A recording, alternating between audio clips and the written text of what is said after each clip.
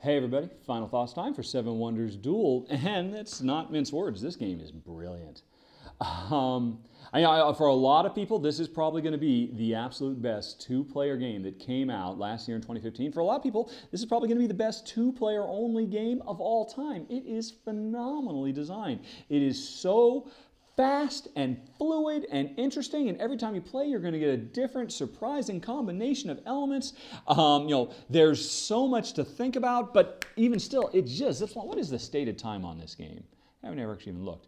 30 minutes, and I would say not even that. Probably once you got the game down now, this is a 20-minute game for people who know, um, you know, are comfortable with the game and, and you know don't have to spend a lot of time, you know, pouring over the player aid that it comes with because of all the icons, much like the original Seven Wonders.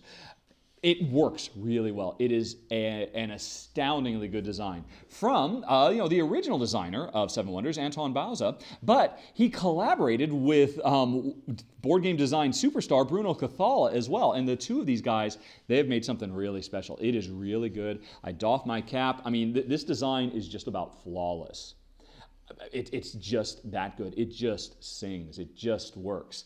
Um, um, you know, and, there's lots of nice little touches too. Like I didn't mention in the run through, you can still, even though there are eight wonders that are potentially being built between us, I didn't mention that once seven of them have been built, the last wonder isn't built. So only seven wonders can be built in a game. So there's this implicit race because you know if you have a chance to build all four of your wonders, you got to build them quick because somebody else might prevent you from being able. You only end up building three.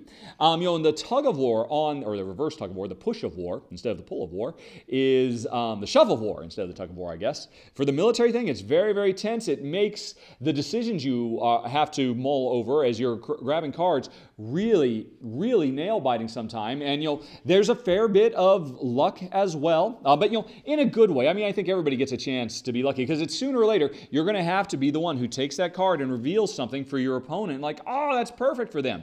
Um, but it might be, and then later on they do the same and they reveal something, and ah, that's not perfect for me. So there is a little bit of luck of the draw, but. I, I, think in this game, it's it's not quite so debilitating. It really kind of enhances the experience as opposed to brings it down. I mean, it's it's not too much luck. It's just the right amount, in fact.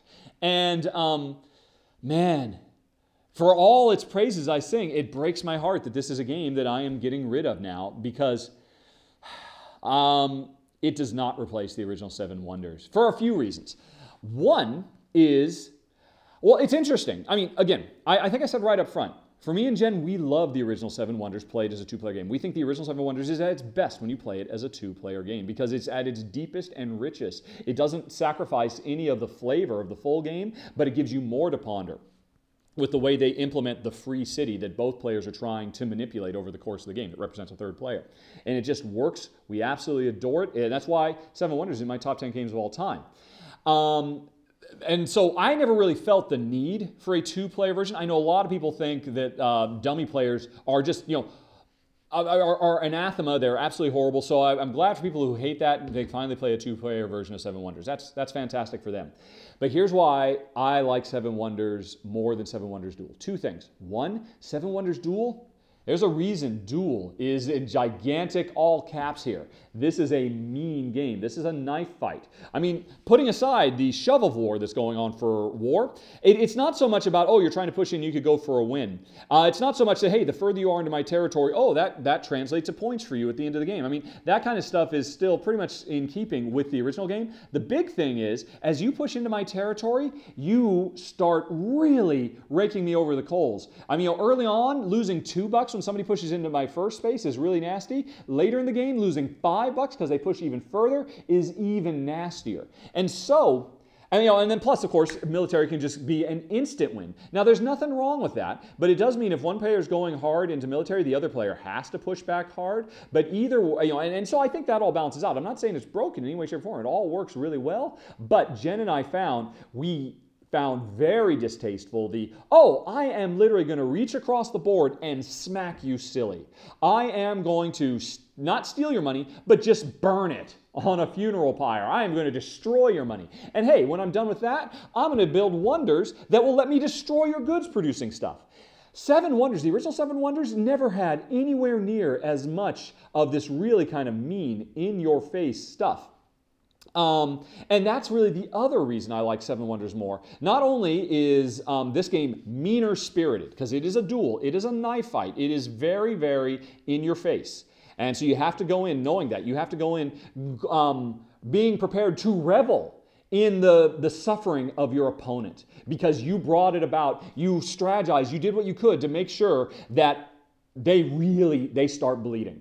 And you know that that's fine if players like that. It's just not something Jen and I enjoy. But the other thing is because that's the nature of this game, Seven Wonders, one of the things I love most about is it's so interactive in positive ways. The fact that, oh, I need clay to be able to build this thing. So I can buy from my neighbor to the left, I can buy from my neighbor to the right. That's a wonderful thing. That's a positive thing. That's a proactive thing. Hey, neighbor, here's some money. Thanks for the clay. I love that collusion, that, um, that or not collusion, that cooperation. It's a wonderful feeling. It's one of the things that makes that game so great.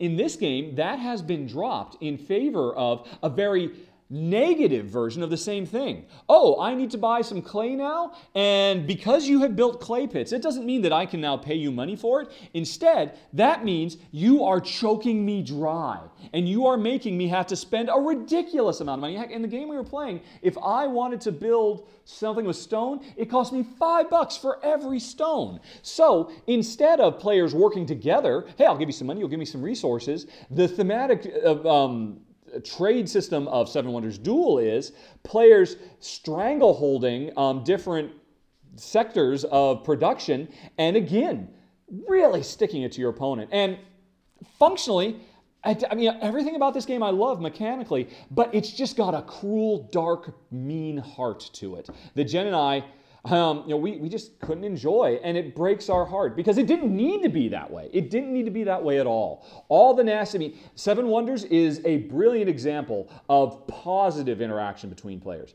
This is an, an example of nasty cutthroat interaction, and it didn't have to be that way. A few tweaks and changes. It, I mean, I would have named this probably. Well, I mean, I, I wouldn't. I don't think it'd be unreasonable to say this is one of the 10 best games of 2015. It is that good. Make no mistake, the design is brilliant. But it isn't in my top 10. It isn't in my top 100. I mean, I'm getting rid of this game as fast as I can because it breaks my heart. It could, yeah. And that's it, folks. That is Seven Wonders Duel. And if you have any questions, comments, concerns, as always, feel free to ask. Apologies for any mistakes I made. I'm sure I made a few goofs here and there because, to be honest, Jen and I, we barely finished one full game before we decided, yeah, this game is not for us. So I might have made a few goofs here. Like, I know one thing I was definitely making a mistake. Once somebody takes a card, they have to play it before they reveal what the new cards are because you shouldn't know what the new cards are when you're deciding what you're going to do with your existing card. So I was playing a little bit offline. There's a few little goofs like that here and there. But as always, you can watch with show notes turned on and you can see where I made mistakes like that. Or you can check the you know show notes down or the annotations on or check the show notes. Paolo will take care of it. But I think you have a pretty good idea of what this game plays like, what it feels like, and um, whether it might be for you. So, thanks for watching, everybody. Talk to you later. So long. Bye bye.